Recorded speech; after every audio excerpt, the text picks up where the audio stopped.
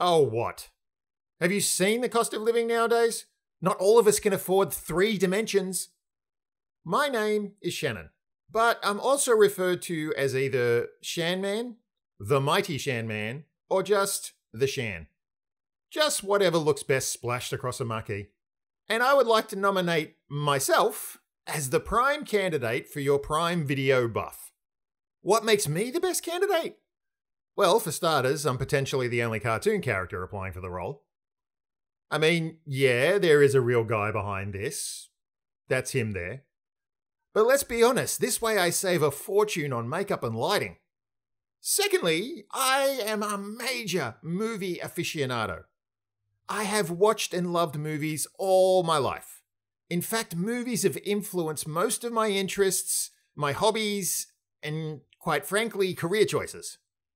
Films like this one. Or this one.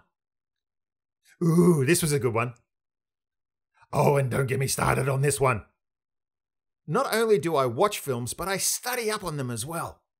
I've read countless books about films and genres and film history. I watch all the behind the scenes features I can get my hands on, and I really love filmmaker commentaries. Have you ever wondered who all those extras and special features were for? Me. They were made for me. Heck, I even started my own show where I get to talk about and review movies. Okay, yes, I needed an outlet, mostly so my girlfriend would let me back in the bedroom again. Hell, I've even made movies.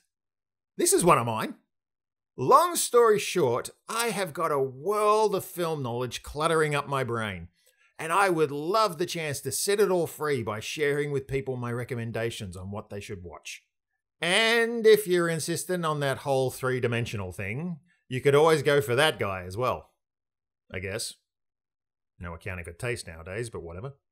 So yeah, pick me, or him, or us, whatever.